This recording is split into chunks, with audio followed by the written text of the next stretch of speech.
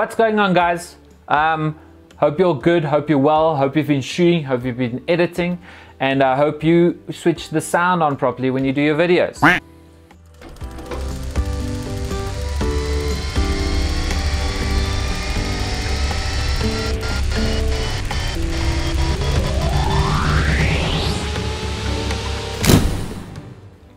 So, seeing as the video is late, uh, that's why. Because yesterday I filmed this all, I edited this all, and then when I listened to the audio from the playback, the audio was really bad because I had the Rode shotgun mic on it, but it was kind of to the side of my face. Here's the example of what I did.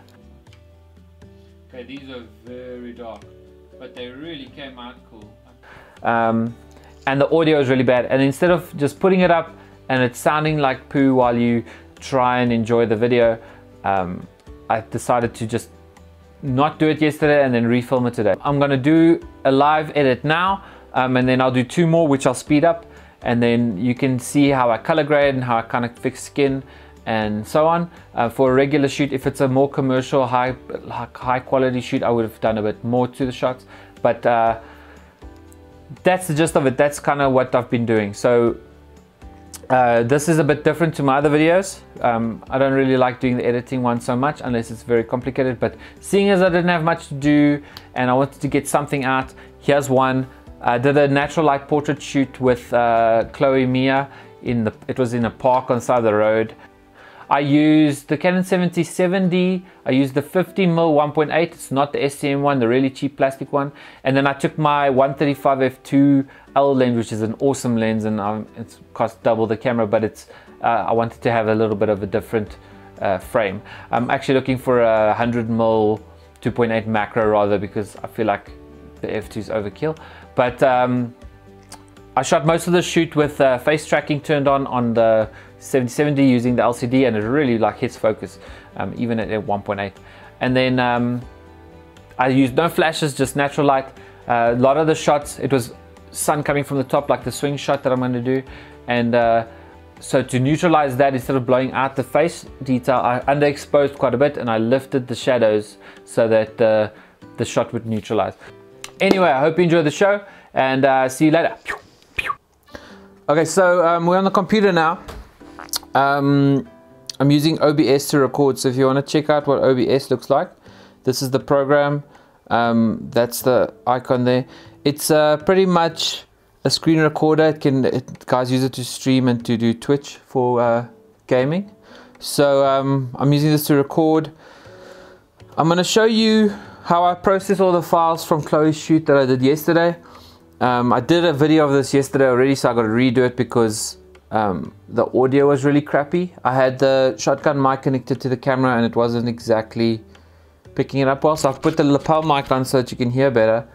Um, and see if I can show you how I do my grading and my process. So um, I'm gonna go into Lightroom.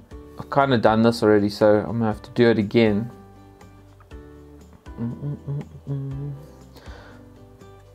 Okay, see I've done some of these already uh, put them on Instagram. I to have this video up yesterday, but I couldn't because I messed up the audio. So um, we're to start over. So what I would normally do is I have all the raws stored in its own folder. Then I drag it in. Then I import. Um, so I was using face tracking for most of these and it really did well. Um, some of these shots, let me show you like these ones I edited this one yesterday oh it came out nice so this is flat now it's not graded or anything but you can see that the focus on the eyes once it loads is really good at f2 um, with no with no uh, flash so and the dynamic range you can see she was quite shaded I kind of underexposed a little bit um, so I could keep the background in and then I could lift this so um, that's that's the before let me show you the when I, when I was done. Where did I put it? Okay, so this this was the edited shot. So that you can, it's kind of cool that I'm doing this now, but um, that's after color grade and, and retouching. So, I mean, really works. I really like this camera. Um, obviously probably my 5D could do this as well, but because I haven't used, um, I've only used the 5D, it's kind of cool to use something else. Um, so let's look for something new because I've done most of these. Um,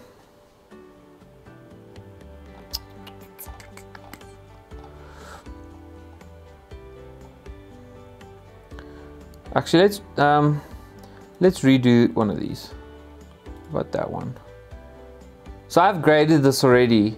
Um, I've exported everything because I, I was starting to work on the shoot after I did the video. But then when I listened to the audio from the video, it really didn't work. Okay, so this is f2, uh, 100 ISO, and then 320th second.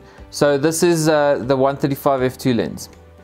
Um, so what I normally would do before I, if I had to work on a job is I'd go through the whole list, I'd push B so it adds it to quick, and then if the shot looks good or the, the, the shot looks good, even if it's not in focus, I'm still gonna quick select it. And then the second time around, I will take it out if it if I really missed focus. So um, say I wanted those two, I wanted, what's that one like?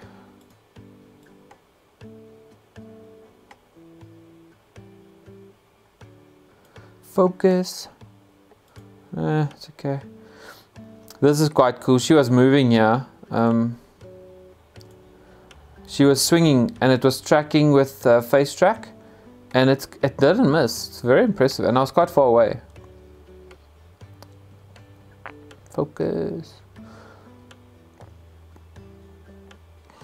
See, so it, it didn't even miss and I'm far away with a really low f-stop. Um, but anyway, so that one, let's do one of these more dramatic ones. So that one and we'll do we'll do these were quite nice. Even though I've done this one already. Please come back on my face. Um,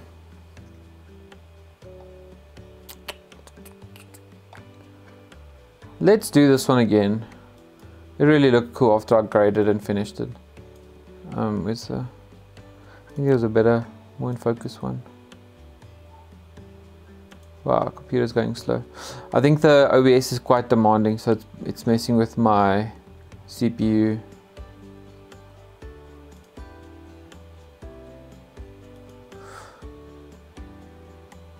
Because let's say that one, right? So it is, I underexposed a bit because the background is very bright. So that's the sun and the sky. Um, so to keep that you can see that's the highlight from the sun that spot and that spot. But you can still see detail in it which is why the dynamic range is quite good. So what we'll do is we'll take those ones. Then I would obviously do it to all of them but then I go quick selection then it's the ones I want so let's say that one. Okay we'll leave that one. So these three I'll do these three so first things first is when I import I've made a preset which I don't really use but it imports with the preset and that's just to change this setting um, so it always starts it up with this one, which is flatter and sometimes looks a bit stranger. So um, this is its own color. I'd like to import it as a neutral from my camera, just so it looks like I would have seen it on my camera. Um, instead of coming into each photo and changing that every time, I've made a preset so that when it imports, it puts that and then it puts a little bit of sharpening on my shots as I import them so that I only have to work on the grading. So the sharpening was already added. You can see if I turn it off. Ooh, what happened? If I turn it, if I turn it off, that's before and that's after. It didn't really do a great deal, but I, I like to just do that. So, no, we'll leave that. Okay, so Okay, and it adds 15 clarity. That's that's what I add to my shots always when I start. Now I'd add some vibrance to see if the colors go up a bit. Yeah, and then I would, so normally I'd add a bit of contrast, see what it does. And then I will drop the blacks, which firstly, if I if I lift the shadows, it takes away some of the like sharpness. It's almost look, it's still sharp, but it it takes away from that like sharp look of the blacks being black. Then I will drop the blacks. And that's usually a starting point. And then I will mess with the highlights. So normally you could pull the highlights down the background will go darker. But then the highlights on the eyes and stuff also going darker. So, so I don't try to do it too much. So I'd rather, what I've started doing is I'll, I'll maybe drop it a little bit like that. So that's the great about. And then I will go into this tool, which is kind of like the brush tool. And then I will drop the exposure a bit and I'll drop the highlights a bit. And then I will fix the part of the highlights I want to fix. Um, see if I can fix it a bit more though.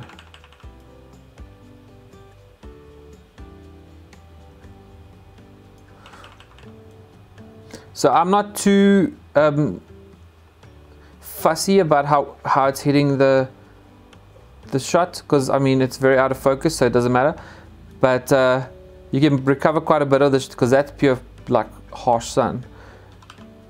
Okay so that's before and after of the quick quick color grade. How long did that take? Like two minutes. Right? Um, this yellow in the skin you could fix in here but I fixed it in Photoshop. Um, I fix all the blemishes in Photoshop. I don't do any of it in here. Lightroom is purely for me to cull through shots, get the bad shots out, and then color grade the beginning part of the edit in here. Unless it's an event, then I try to do all the color grading in here, and then that's all I do. Um,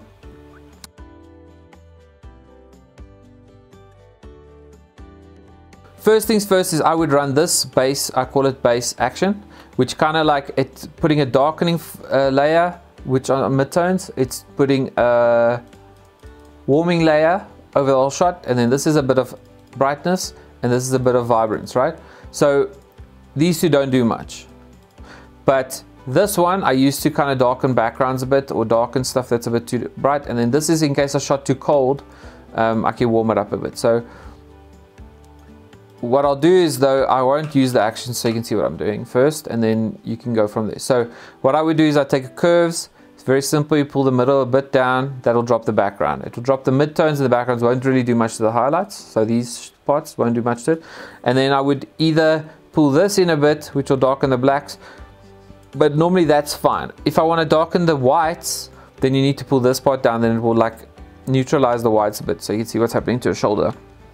Um, but that's fine. So that's a darkening layer. You can rename these, but I don't. Uh, warming layer, you put a curves layer, you go uh, red, you add red, then you go curves, you go blue, then you minus blue, and that's adding yellow.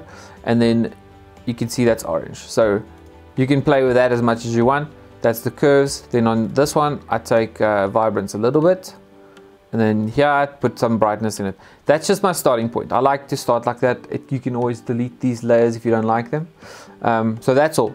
Now that would have happened in one go if I clicked um, my base thing. But uh, so that's it. So then you take this mask, then you take um, a black paintbrush on default colors and then with black. And then I leave my opacity on 100. So you push 0 to make it 100, 1 to make 10 and so on. Um, my flow is almost always on like a 5. I click this for pressure for my tablet. And then all you're to do is if it's a white mask, that means it's working. Think of it as a white piece of paper. And black is going to be like like an eraser. So you're cutting out the middle, you're cutting out what you don't want that to affect. So if that's a piece of white paper and you cut her out, then obviously you could see through it into the original shot, right? So all you do is you take a soft, so it's not a hard brush, let me show you. So it's like a 13 or so, so the middle's kind of hard and the outside is very feathered. So don't be too fussy about it, just kind of remove it from her. And then if you want to remove it from parts of the background, Oh, OBS makes my computer go way slow. So if you want to move it to parts of the background, you kind of paint it on there. Right, so if you want to see what it did, so you can see where she was, it's being cut out, and then only the white parts what's getting darkened. So that's what that did. Um, try and make sure you get all of her. Then the warming layer, I usually just drop the opacity here, and then that'll make it less warm. And if you hold Alt and click on the original, it will show you with all those adjustments off and on. So that's all I did. That'll give it a nice glow to it. Maybe a bit less. Now we flatten. Um, I also made a shortcut, which is uh, Control Alt 1. That'll make the whole image flatten. And then, so we've done the first color grade. Usually I do it to all of them and then carry on. But for now, first we're gonna do, we can use uh, frequency separation to clean the skin, but we're gonna we're gonna clean it. The parts that are really bad, we're gonna clean first, and then we'll go to frequency separation to clean the rest.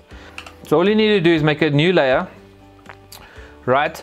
Take the patch tool. I like to use the patch tool because it's bigger areas. Um, if you don't like to use the patch tool, healing brush is cool. So that one you sample and then you replace with it.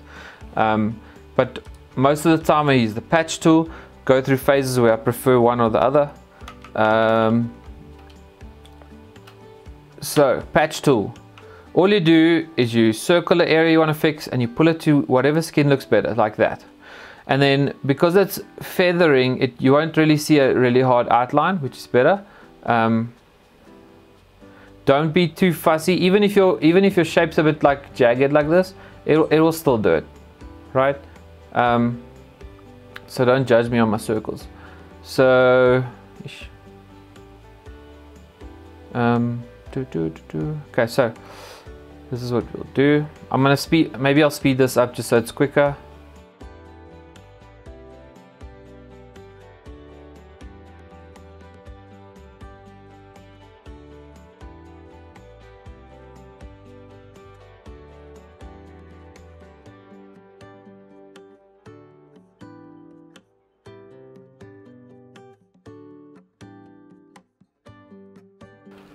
Boom. Okay, so that's that. Um, this kind of uh, uneven skin and stuff that will fix in frequency separation. This yellow will fix now. Um, so what I'll do now is I'm gonna flatten this. Okay, we're gonna try fix this yellow. So because this is a bit yellow, I don't know what, it's a, must be a reflection from the grass or the tree.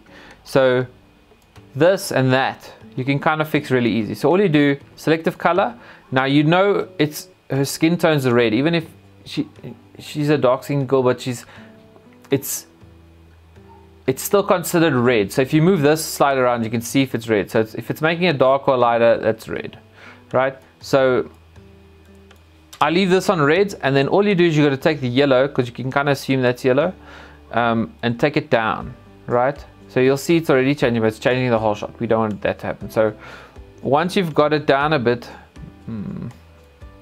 And if you can neutralize it a bit more. Okay, if you add a bit of cyan in as well, it's also fixing it a bit. So now all you're to do is you're going to go Control I, right? That's uh, going to invert the layer. You're to take a paintbrush. You're to take a white. Ooh, you're to take a white paintbrush at full opacity, and you're to paint over the part that you want to fix. So over the yellow that's here. right so it's not going to add it to the whole shot it's just going to add it to these areas here I see that's not working so well because it's not red but uh, that's it you can also use the neutral one but then it's going to affect everything like the background so like this if I paint there it's not going to do anything to the green because it's in a different channel to the red so you don't even have to be too serious about it but it will do it to here so if you want to see what it did you can see only white's affecting black's not affecting that's what it's fixed. So it's very neutralized. So you can fix that a bit more in fre frequency separation. But uh, for now, I think that's good. Right, so we flatten that. Um, okay, now frequency separation. I'm not going to run this uh, like one step at a time because it's kind of a process. But you can teach yourself how to make this action. If you want to find a good tutorial on it, where I learned is from Phlearn. So if you go on YouTube and type Phlearn, I'll kind of make it pop up here. Um, they've got a really cool one to explain how to do it. So this is just making a whole bunch of layers, right? So this is frequency separation. That's my dodging and burn layers. So if you want to know what it does, if you look at this image, right? This is the this is the layer. This is my duplicate. So this is two layers that's making up that one layer. So this is pretty much just blur. It's just like um, what do I say? So it's everything out of focus. So you kind of put a blur layer and then the this layer is a texture layer only. So when you put them on top of each other, it's the same image, right? So if I only turn this one on, um, if I only turn this one on, it's a blur, it's very blurred, right? Okay, and that's for skin tones. That's not for any details, just skin tones. And then if you turn only this one on, it's just detail. That's why it goes so sharp. But if you turn both on, it looks exactly like the original, right? So if you show the original and, and all of them, it looks the same. Um, this allows you to work on this layer. So if I paint a big black line here, let me show you. If I paint a big black line here, it's only painting on the background. You can still see the detail in an eye, right? Because it hasn't affected the, the detail. The detail is still the same, okay? Um, now what that makes you allow you to do blah blah. What that allows you to do is to take a paintbrush and then sample a color like let's say I like this color and then with a soft paintbrush like 20 I can paint over the other colored areas and kind of make it blend a bit better.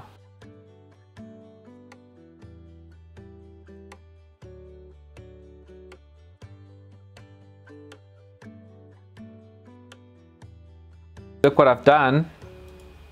So it's just cleaned up some of the blotches, especially on the neck and stuff. So lastly, these are my dodge and burn layers. There's lots of ways to dodge and burn with curves and with um, the tools for dodge and burn and all kinds of stuff. This is the way I like to do it. I make two layers. This is medium gray. So if you make a new layer and you go uh, shift backspace, you can fill it with medium gray, right? So medium gray is just nothing. So if you put a medium gray layer with a soft light uh, setting here or overlay setting here, it'll go it'll go see through. So that's normal. If you put on overlay, you won't see it, right? So now all you're gonna do is on here is you're gonna take a paintbrush, a default one, if I can get it to work. So a default paintbrush, so you can just push B and then D for default. That's black and white. So black will make things darker, white will make things lighter. That's it. Um, now the reason I have two is this one is stronger than that one. So overlay is stronger than soft light. This one I use for everything except skin. That one I use for only skin. So lips, eyes, background, hair, clothing, I use this layer for. Skin I use mainly because if you mess up skin, you usually want to go backwards a bit because you've overdone it. So I kind of separate them so if I mess up one of the two, I can just drop the opacity on one instead of working right from the start again. So I start on this one, black, take a 20% opacity soft brush and then what you're gonna do is you're just gonna mess with it. So this is basically like the contrast slider but very specific to wherever you want it. So if you want more here than there you can do that without having to like go through 500 steps to do that. So um, we're gonna softly just kind of mess with it a bit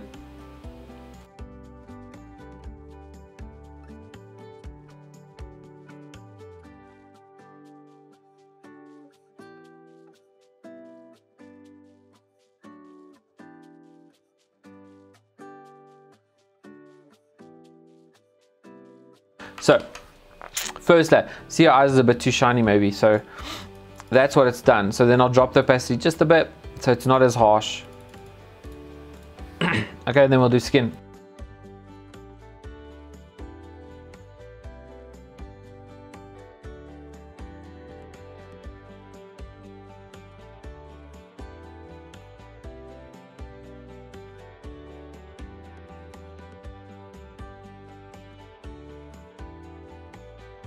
Right, so I've done, I think I've done a little bit, not too much.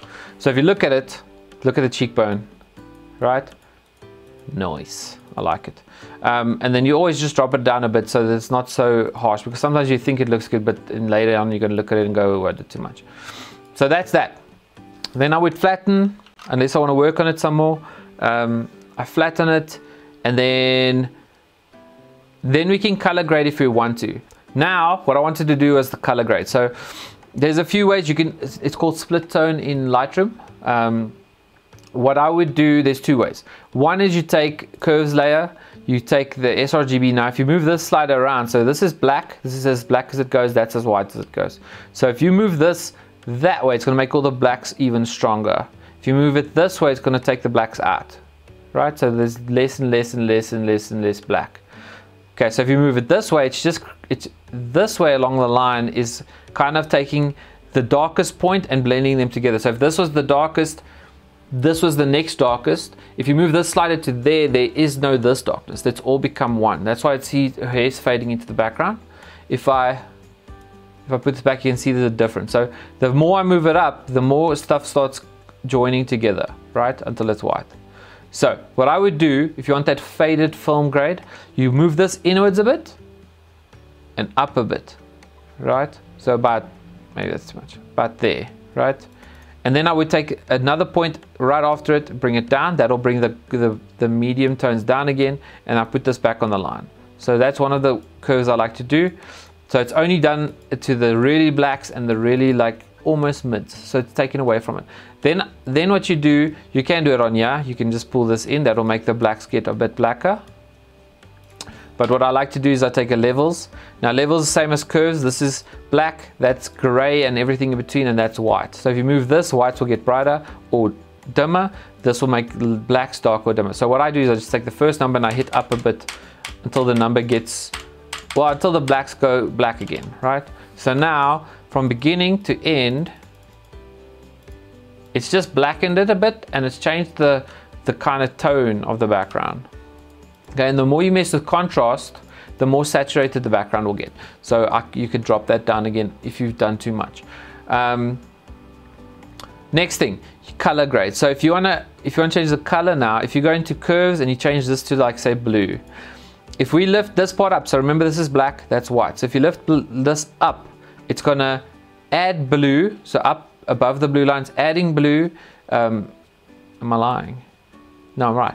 If you lift it up, uh, it's adding blue, so the blue channel, into the whole shot, right? So if you do it here, it's to add blue into mostly the blacks and a little bit into the rest. If you add it here, it's to add blues into the highlights. If you do it here, it's to minus blue from the highlights. So with these three colors, you can do quite a lot. So if you have to lift this up a bit and pull it in a bit, it's only adding really blue to the blacks. You see if you look in the whites, it's not blue.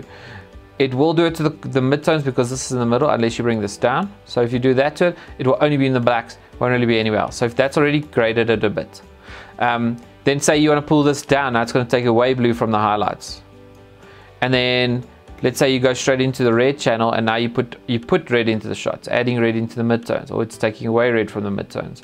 Um, there's a few curves that always work, like pulling this down and pulling this up always looks nice. So that you just got to play with. Then I flatten, then I uh, control shift S for save, and then I overwrite the file. If I'm happy with it, I don't generally save all the backups. Unless I still have the raws for at least a month after the shoot in case someone wants an extra shot or two. But after that I kind of call it unless it would be for a big commercial shoot then I might keep it for longer in case the client wants it. But for this is a kind of a test shoot and it was just for playing and so that's the shot. So if I want to put the before in so here's the before.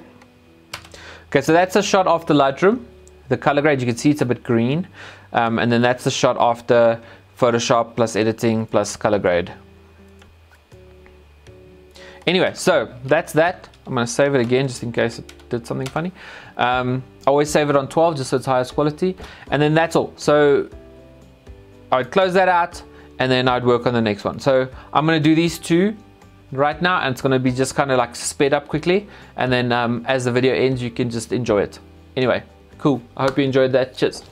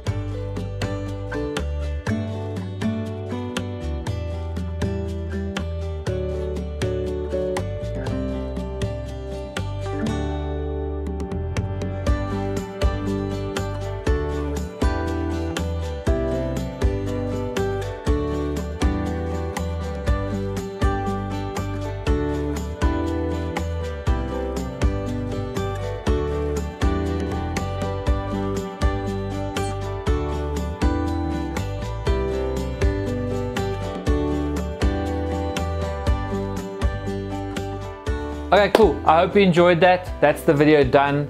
Um, I hope you enjoyed the, the way I did it. I didn't have a long shoot to do behind the scenes of, so I didn't um, want to do it behind the scenes. So this is more something to do with how people ask you for how I color grade and how I cull through images so it goes quicker. Um, anyway, so I hope you liked that. Um, if you haven't yet, hit that button, hit this button. Uh, if you want to see some more please uh, subscribe. Um, and then please let us know what you think. And uh, we'll see you next time. Cheers.